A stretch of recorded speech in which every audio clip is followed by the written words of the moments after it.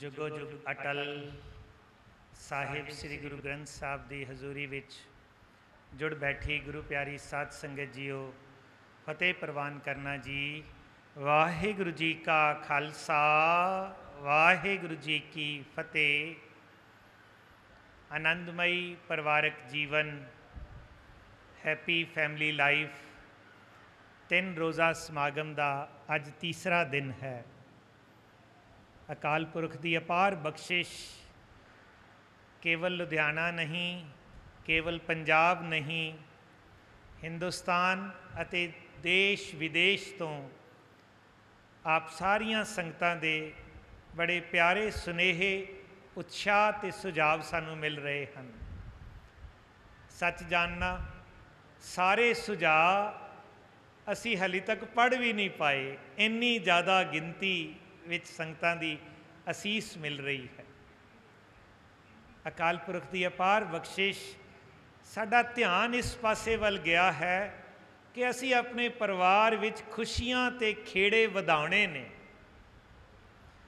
ਇੱਕ ਇੱਕ ਗੱਲ ਜੋ ਇਸ ਸਟੇਜ ਤੋਂ ਕਹੀ ਜਾ ਰਹੀ ਹੈ, ਜਿੱਥੇ ਸਾਡੀ ਗਲਤੀ ਹੈ, ਸੰਗਤ ਉਹ ਵੀ ਦੱਸ ਰਹੀ ਹੈ ਤੇ ਜਿੱਥੇ ਜਿੱਥੇ ਵਧੀਆ ਗੱਲਾਂ ਨੇ ਉਹ ਵੀ ਸਾਨੂੰ ਆਪ ਜੀ ਦੱਸ ਰਹੇ ਹੋ। ਅੱਜ ਦੇ ਸਮਾਗਮ ਦੀ ਸ਼ੁਰੂਆਤ ਅਸੀਂ ਕਰਾਂਗੇ ਸਕਾਟਲੈਂਡ ਤੋਂ ਡਾਕਟਰ ਇੰਦਰਜੀਤ ਸਿੰਘ ਜੀ, ਜੋ ਈਐਨਟੀ ਦੇ ਸਪੈਸ਼ਲਿਸਟ ਹਨ ਗਲਾਸਗੋ ਦੇ ਵਿੱਚ। ਬੜੀ ਦੇਰ ਉੱਥੇ ਉਹਨਾਂ ਨੇ ਗਵਰਨਮੈਂਟ ਜੌਬ ਦੇ ਵਿੱਚ ਰਹੇ ਨੇ। ਇੱਕ ਗੁਰਸਿੱਖ ਇੰਗਲੈਂਡ ਦੇ ਵਿੱਚ, ਸਕਾਟਲੈਂਡ ਦੇ ਵਿੱਚ ਡਾਕਟਰ ਹੋਵੇ ਔਰ ਉਸ ਮੁਲਕ ਦੇ ਵਿੱਚ ਉਹਨਾਂ ਨੇ ਕੀ ਅਨੁਭਵ ਕੀਤਾ ਕਿ ਉੱਥੇ ਦੀ ਫੈਮਿਲੀ ਲਾਈਫ ਤੇ ਇੱਥੇ ਦੀ ਫੈਮਿਲੀ ਲਾਈਫ ਕਿਸ ਤਰ੍ਹਾਂ ਦੇ ਫ਼ਰਕ ਹਨ, ਕਿਸ ਤਰ੍ਹਾਂ ਦੀਆਂ ਖੂਬੀਆਂ ਹਨ ਤੇ ਕਿਸ ਤਰੀਕੇ ਨਾਲ ਪਰਿਵਾਰ ਦੀ ਜਿਹੜੀ ਸੰਸਥਾ ਹੈ, ਅਸੀਂ ਉਹਦੀ ਸੰਭਾਲ ਕਰਕੇ ਉਹਨੂੰ ਕਿਵੇਂ ਪ੍ਰਫੁੱਲਤ ਕਰਨਾ ਹੈ। ਸੋ ਸਭ ਤੋਂ ਪਹਿਲਾਂ ਹੁਣ ਅਸੀਂ ਉਹਨਾਂ ਦੀ ਵੀਡੀਓ ਦੇਖਾਂਗੇ। ਇਹਨਾਂ ਤੋਂ ਬਾਅਦ ਸਾਡੇ ਕੋਲ ਅੱਜ ਦੋ ਛੋਟੇ ਬੱਚਿਆਂ ਦੀ ਬਹੁਤ ਖੂਬਸੂਰਤ ਪ੍ਰੈਜੈਂਟੇਸ਼ਨਸ ਹਨ। ਬੇਟਾ ਅਗਮਵੀਰ ਸਿੰਘ ਤੇ ਬੇਟਾ ਰਾਜਵੀਰ ਸਿੰਘ। ਬੇਟੀ ਇਸ਼ਨੀਤ ਕੌਰ, ਇਹ ਤਿੰਨ ਯੰਗ ਬੱਚਿਆਂ ਦੀ, ਹਾਲੀ ਤੱਕ ਵੱਡਿਆਂ ਦੀ ਪਾਰਟਿਸਿਪੇਸ਼ਨ ਰਹੀ, ਐਡੋਲਸੈਂਟਸ ਦੀ ਪਾਰਟਿਸਿਪੇਸ਼ਨ ਰਹੀ। ਅੱਜ ਸਾਡਾ ਮਨ ਹੈ ਕਿ ਛੋਟੀ ਉਮਰ ਦੇ ਪ੍ਰਾਇਮਰੀ ਲੈਵਲ ਦੇ, ਮਿਡਲ ਲੈਵਲ ਦੇ ਬੱਚੇ ਉਹ ਵੀ ਸਾਡੇ ਨਾਲ ਪਾਰਟਿਸਿਪੇਟ ਕਰਨ, ਕਿਉਂਕਿ ਉਹ ਵੀ ਫੈਮਿਲੀ ਦਾ ਅੰਗ ਹਨ। ਔਰ ਇਸ ਤੋਂ ਬਾਅਦ ਅੱਜ ਜੋ ਸਾਡੇ ਵਿਸ਼ੇਸ਼ ਮਹਿਮਾਨ ਦਿੱਲੀ ਤੋਂ ਆਏ ਹੋਏ ਹਨ ਡਾਕਟਰ ਜਸਵੰਤ ਸਿੰਘ ਨੇਕੀ ਜੀ ਦੇ ਸੁਪਤਨੀ, ਡਾਕਟਰ ਕਮਰਜੀਤ ਕੌਰ ਨੇਕੀ ਜੀ ਕੱਲ ਉਹ ਸਾਡੇ ਨਾਲ ਪੈਨਲ ਵਿੱਚ ਬੈਠੇ ਸੀ।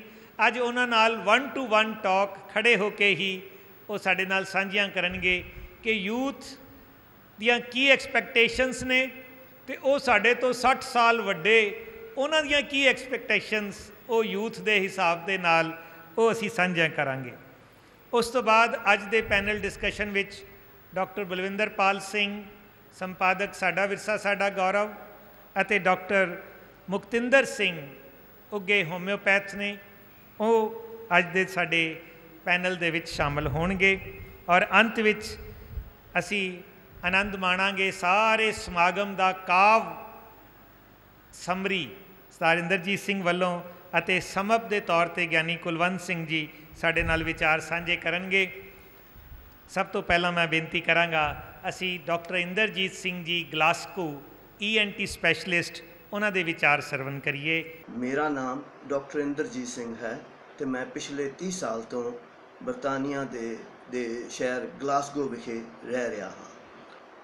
ਹੁਣ ਮੈਂ ਤੁਹਾਡੇ ਨਾਲ ਤਿੰਨ ਚਾਰ ਰਵਾਇਤਾਂ ਜਿਹੜੀਆਂ ਉੱਥੇ ਮੈਨੂੰ ਉਹਨਾਂ ਦੀਆਂ ਚੰਗੀਆਂ ਲੱਗੀਆਂ ਹਨ, ਜਿਹੜੀਆਂ ਸਾਡੇ ਪਰਿਵਾਰਕ ਆਨੰਦਮਈ ਜੀਵਨ ਲਈ ਲਾਭਾਤ ਹੋ ਸਕਦੀਆਂ ਹਨ, ਉਹਨਾਂ ਬਾਰੇ ਦ- ਸੰਖੇਪ ਵਿੱਚ ਦੱਸਾਂਗਾ।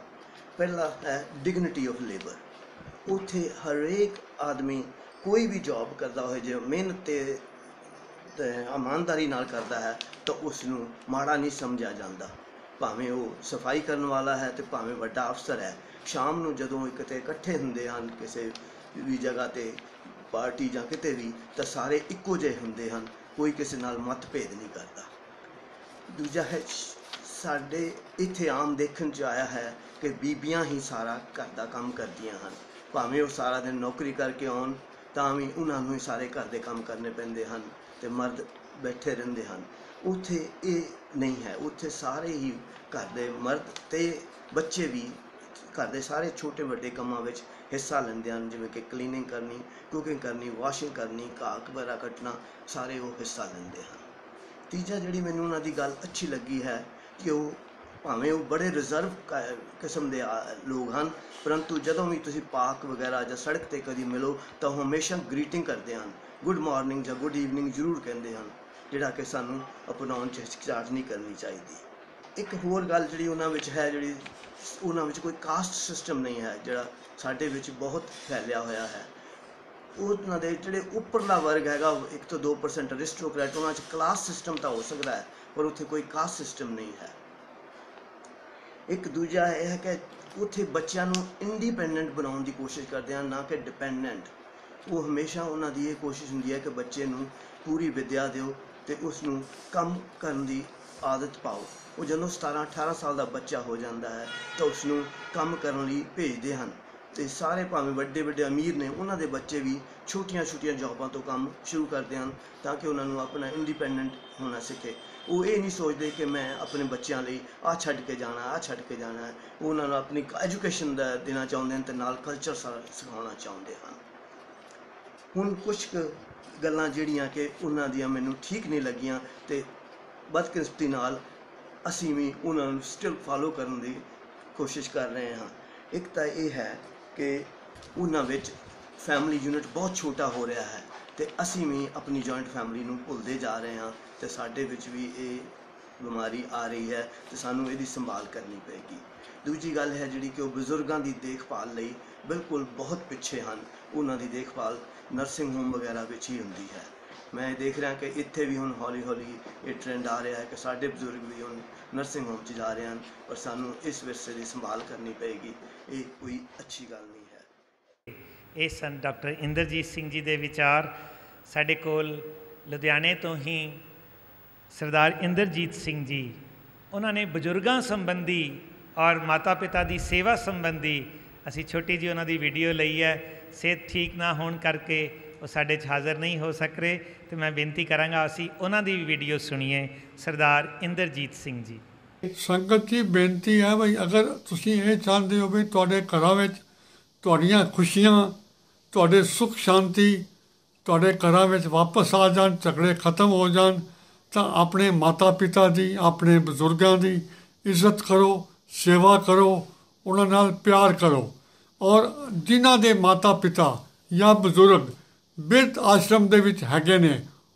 ਕੋਸ਼ਿਸ਼ ਕਰੋ ਉਹਨਾਂ ਨੂੰ ਵਾਪਸ ਲੈ ਆਓ। ਮਨਾ ਕੇ ਲਿਆਓ ਮਾਫੀ ਮੰਗੋ ਔਰ ਉਹਨਾਂ ਦੀ ਸੇਵਾ ਕਰੋ। ਤੁਹਾਡੇ ਘਰਾਂ ਵਿੱਚ ਖੁਸ਼ੀਆਂ ਆਪਣੇ ਆਪ ਆ ਜਾਣਗੀਆਂ, ਤੁਹਾਡੇ ਝਗੜੇ ਵੀ ਖਤਮ ਹੋ ਜਾਣਗੇ। ਸਭ ਸੁੱਖ ਸ਼ਾਂਤੀ ਆ ਜਾਏਗੀ।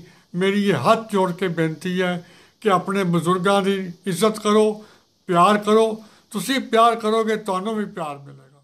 ਵੀਡੀਓ ਮਾਤਾ ਹਰਜੀਤ ਕੌਰ ਜੀ ਦੀ ਗੁਰੂ ਤੇ ਭਰੋਸੇ ਸੰਬੰਧੀ। ਇਹ ਅਖੀਰਲੀ ਵੀਡੀਓ ਅੱਜ ਦੀ ਇਹ ਆਪ ਸਰਵਨ ਕਰੋ ਜੀ। ਪਿਆਰੀ ਸਾਧ ਸੰਗਤ ਜੀ, ਮੈਂ ਇੱਕ ਇਨਸੀਡੈਂਟ ਆਪ ਜੀ ਨਾਲ ਸ਼ੇਅਰ ਕਰਨ ਲੱਗੀ ਹਾਂ। 1994 ਵਿੱਚ ਅਚਾਨਕ ਹੀ ਮੈਨੂੰ ਮੈਸੇਜ ਮਿਲਿਆ ਕਿ ਮੇਰੇ ਹਸਬੰਡ ਨੂੰ ਹਾਰਟ ਦੀ ਪ੍ਰੋਬਲਮ ਹੋ ਗਈ ਹੈ ਤੇ ਅਸੀਂ ਕੱਲ੍ਹ ਦਿੱਲੀ ਜਾਣਾ ਹੈ। 2 ਮਿੰਟ ਵਾਸਤੇ ਮੇਰੇ ਮਨ ਵਿੱਚ ਘਬਰਾਹਟ ਹੋਈ ਵੀ ਇਹ ਕੀ ਹੋ ਗਿਆ। ਉਸ ਤੋਂ ਬਾਅਦ ਮੈਂ ਉੱਥੋਂ ਉੱਠੀ ਤੇ ਮੈਂ ਰੂਮ ਵਿੱਚ ਜਾ ਕੇ ਰਹਿਰਾਸ ਸਾਹਿਬ ਦਾ ਪਾਠ ਕੀਤਾ। ਪਾਠ ਵਾਹਿਗੁਰੂ ਨੇ ਮੇਰੇ ਕੋਲ ਇਸ ਤਰ੍ਹਾਂ ਕਰਾਇਆ ਕਿ ਮੈਨੂੰ ਖੁਦ ਨੂੰ ਸਮਝ ਨਹੀਂ ਸੀ ਆ ਰਹੀ ਕਿ ਪਾਠ ਅੱਜ ਮੇਰੇ ਕੋਲ ਕਿਸ ਤਰ੍ਹਾਂ ਹੋ ਰਿਹਾ ਹੈ। ਉਸ ਤੋਂ ਬਾਅਦ ਜਦੋਂ ਮੈਂ ਅਰਦਾਸ ਕੀਤੀ, ਅਰਦਾਸ ਦੇ ਵਿੱਚ ਬਾਰ-ਬਾਰ ਇਹੀ ਪੰਕਤੀਆਂ ਆ ਰਹੀਆਂ ਸਨ, ਤੁਝ ਬਾਜ ਸਮਰਥ ਕੋਏ ਨਾਈ, ਕਿਰਪਾ ਕਰ ਬਨਵਾਰੀਆ। ਤੁਝ ਬਾਜ ਸਮਰਥ ਕੋਏ ਨਾਈ, ਕਿਰਪਾ ਕਰ ਬਨਵਾਰੀਆ। ਇਹ ਪੰਕਤੀਆਂ ਨੇ ਮੈਨੂੰ ਇਤਨੀ ਹੌਸਲਾ ਤੇ ਅਡੋਲਤਾ ਦਿੱਤੀ ਕਿ ਮੇਰੀ ਘਬਰਾਹਟ ਇੱਕ ਸਕਿੰਟ ਵਿੱਚ ਖਤਮ ਹੋ ਗਈ। ਉਸ ਤੋਂ ਬਾਅਦ ਮੈਂ ਬਿਲਕੁਲ ਘਬਰਾਈ ਨਹੀਂ, ਮੈਨੂੰ ਕੋਈ ਪਰੇਸ਼ਾਨੀ ਨਹੀਂ ਹੋਈ। ਹਸਪੀਟਲ ਵਿੱਚ ਵੀ ਰਹਿ ਕੇ ਮੈਨੂੰ ਇਸ ਤਰ੍ਹਾਂ ਫੀਲ ਹੋ ਰਿਹਾ ਸੀ ਕਿ ਮੈਂ ਗੁਰਦੁਆਰੇ ਵਿੱਚ ਬੈਠੀ ਹੋਈ ਹਾਂ। ਸੋ ਮੇਰਾ ਇਹੀ ਸਭ ਨੂੰ ਮੈਸੇਜ ਹੈ ਕਿ ਗੁਰਬਾਣੀ ਨਾਲ ਜੁੜੋ। ਗੁਰਬਾਣੀ ਨਾਮ ਰੂਪੇ, ਗੁਰਬਾਣੀ ਗੁਰੂ ਰੂਪੇ, ਗੁਰਬਾਣੀ ਪਰਮਾਤਮਾ ਰੂਪੇ। ਇਸ ਦੀ ਆਪਣੀ ਪਾਰਸ ਕਲਾ ਹੈ, ਜੋ ਵਰਤਦੀ ਹੈ। ਸੋ ਮੇਰੀ ਹੱਥ ਜੋੜ ਕੇ ਬੇਨਤੀ ਹੈ ਕਿ ਆਪ ਗੁਰਬਾਣੀ ਨਾਲ ਜੁੜੋ ਤੇ ਆਪਣੇ ਘਰ ਦੇ ਵਿੱਚ ਖੁਸ਼ੀਆਂ, ਖੇੜੇ, ਆਨੰਦ ਲੈ ਕੇ ਆਓ।